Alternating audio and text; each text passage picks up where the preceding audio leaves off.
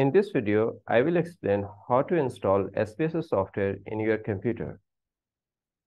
Go to Google and type IBM SPSS trial version because this is free.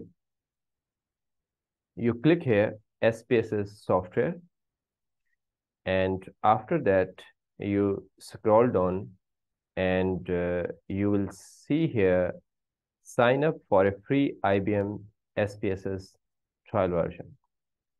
Register now, you click here. You will land on this page.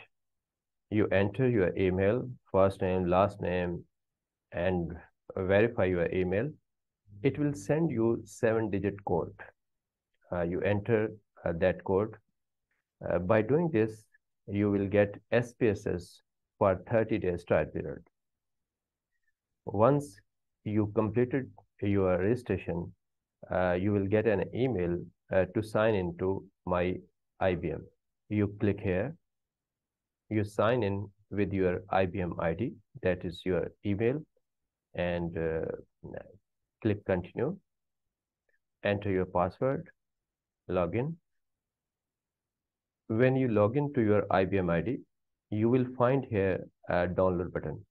When you click here, it will start downloading SPSS software and uh, it will give you uh, 30 days free. You can also download for Windows operating system and Mac operating system. SPSS for Windows operating system, you can click here. For Mac operating system, you can click here.